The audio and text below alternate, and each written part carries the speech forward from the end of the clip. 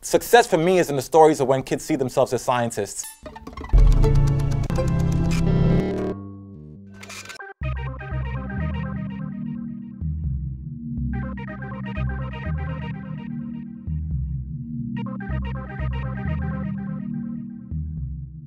My most recent research has been focused on science mindedness.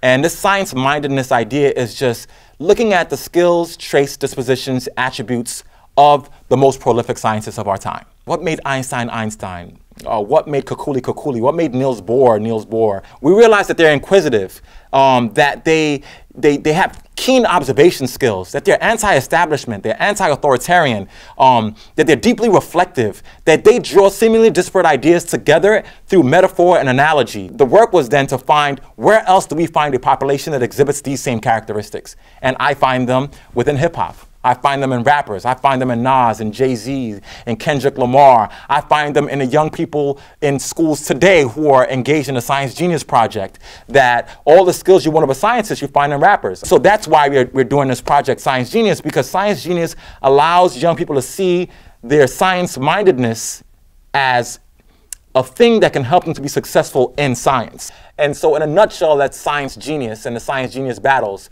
Genius is uh, generating IUS, interest in urban science. Um, and battles is the rap battle, but it also stands for bringing attention to transforming, teaching, learning, and engagement in science. Um, and the idea is just that, that we want to generate interest in urban schools, or in urban science by bringing attention to how we transform teaching, learning, and engagement um, with young people. So in hip hop, the battle is when you have one MC versus one MC. They have crafted their raps, they come with their crew, and they are going to compete to show who is the best rapper. And so we've taken this idea of the hip hop battle and extended that to include the science genius battle, where you have young people who will go and study their science text and information.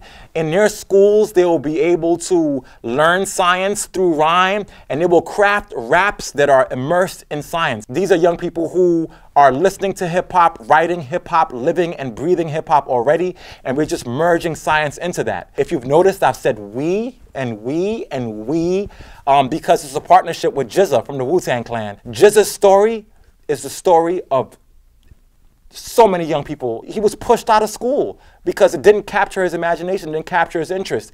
And so he is so deeply entrenched in this project because he, he wants to change the narrative for kids like him. GZA is a science geek as well, deeply immersed in science, inquisitive about the universe, and he's gonna be like a coach, you know, supporting the kids in writing their science rap, teaching them what the art of rhyme and hip hop is. We've said from the beginning, we are not gonna accept nursery school rhymes. You're not gonna come in here and say, hey, I'm here to play, it's DNA. We are turning up the, the, responsibility for the young people to engage in hip hop differently. We're changing the narrative of commercial hip hop. We have 10 schools so far. In each of those 10 schools, they will have science battles where each school will sort of declare their science genius. The science genius in each of those schools will battle against geniuses in another uh, in other schools until we have this one big event it's going to be the 10 science geniuses from these 10 selected schools. There will be rappers in the audience. There will be scientists in the audience. There will be educators in the audience. There will be media in the audience. And we will judge to see who the top science genius is. And that person will be the science genius of New York City. We picked schools where people wouldn't say later, oh, these kids are doing great because they've always done great. They're the prototypical New York City public schools. Uh, students with, with low socioeconomic status, neighborhoods that are struggling, high incarceration rates in those neighborhoods. So we've, we've gone to the places where um, a lot of people don't go.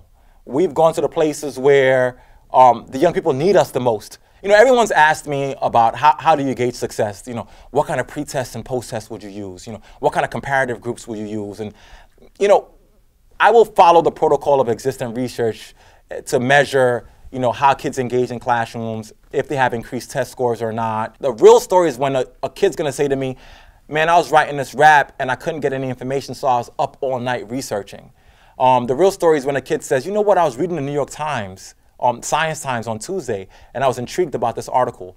Um, success for me is in the stories of when kids see themselves as scientists. Conventional methods for uh, measuring success will be used, um, but to me, real research is in the rich and thick descriptions of what works, what doesn't work, how it works and, and how kids experience this approach differently. I'm Christopher Emdin. You need to subscribe to THNKR like yesterday.